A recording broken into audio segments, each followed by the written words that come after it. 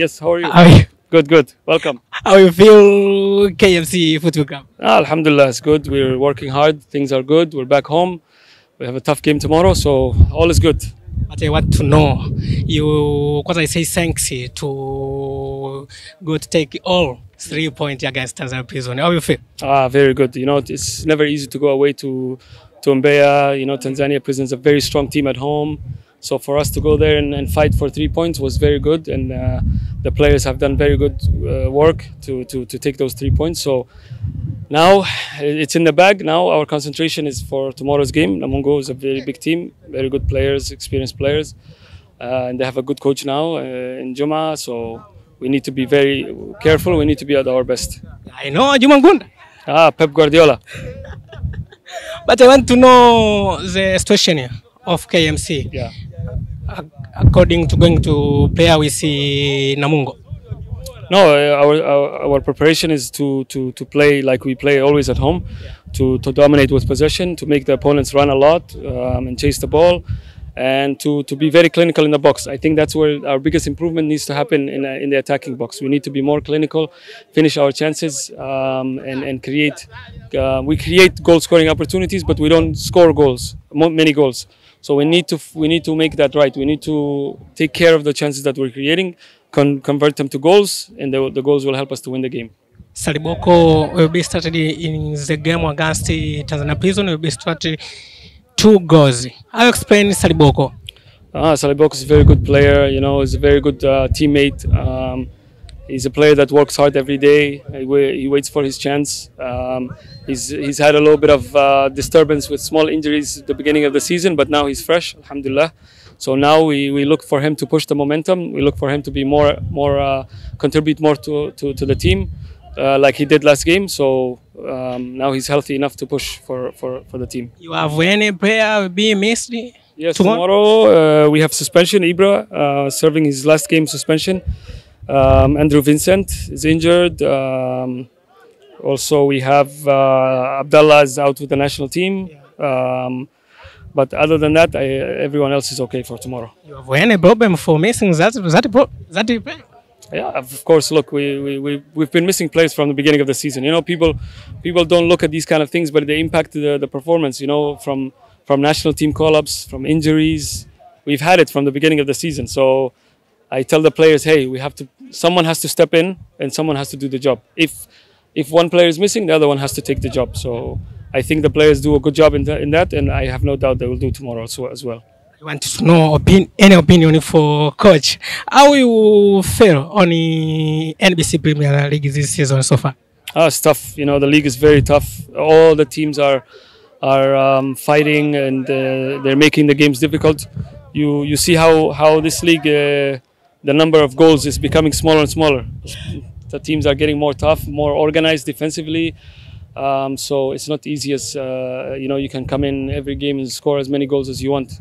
Teams are making it difficult, so it's good for the league. It's pushing us as coaches also to, to, to come up with good ideas, good ways to approach the games. Um, tactically, the league is much much better now than, than than it was before. So, but it's entertaining for the fans and it's good games for the fans to watch. What is a good moment on KMC? Um, this season, Yeah. so far, I think, um, to be honest with you, uh, I have had a lot of good moments. You know, um, even some games that we lose, I'm very proud of the players. Like for example, against Yanga, we, I was so proud of the effort the players gave for, uh, you know, that for we conceded an early goal, but for 80 plus minutes we played so good and and. Uh, and it's not easy to play against Yanga in front of the, the crowd like this. You know, these kind of games, too much pressure. But the players did very well to handle that pressure, and they showed a level of maturity that, that if we continue to, to grow like that, I think we can be a very good team in this league. And sad moment? Saddest moment, to be honest with you, I think it was uh, away to Fountain Gate.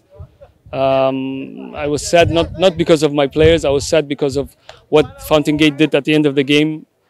We had red cards, injuries. We finished the game with nine players, and they were doing unsportsman uh, behavior.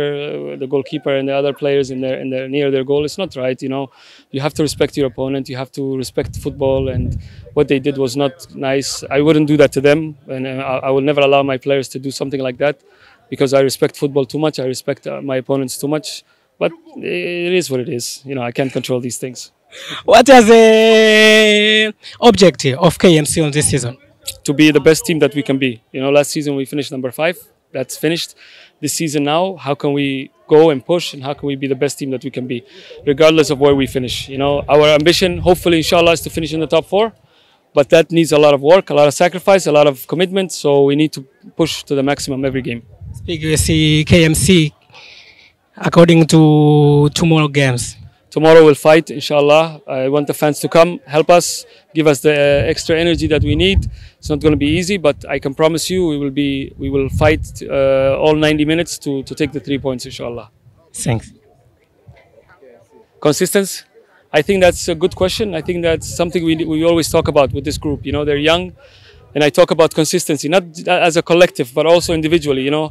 We need to be more we need to be at a higher level every game you know, um, we can't be within the game. Sometimes you'll see a lack of consistency in terms of our performance. Um, but I think that's the missing missing puzzle for our team. The missing pieces. How can we be consistently, you know, at the same level? We don't have to be consistently 100%, but consistently 80% is better than, you know, being at 90, 75, 60. This is not good. So I think that's the next step for our our our development as a team, our growth and we need to find a way to be more consistent. And, and I think right now we're on the right track um, in terms of results. Three of the last two games we won. If we win tomorrow, inshallah, it will be four, three of the last four. Then we gain a little bit of momentum and we, we, we push forward together. Our, to be the best team that we can be, you know, to challenge for our our our ambition is to finish in the top four, um, but the overall ambition is to be in in better shape than we were last season. So if that means to finish top four, we can finish five, but we have to be the best and we have to push ourselves, challenge ourselves, and we have to, you know, it's, it's not going to be easy. You know, the league is very tough. There are four or five teams now that are really, really good in this league, so we need to be amongst those five uh, or six teams, and we need to challenge for the for the, for the for the best finish that we can, inshallah.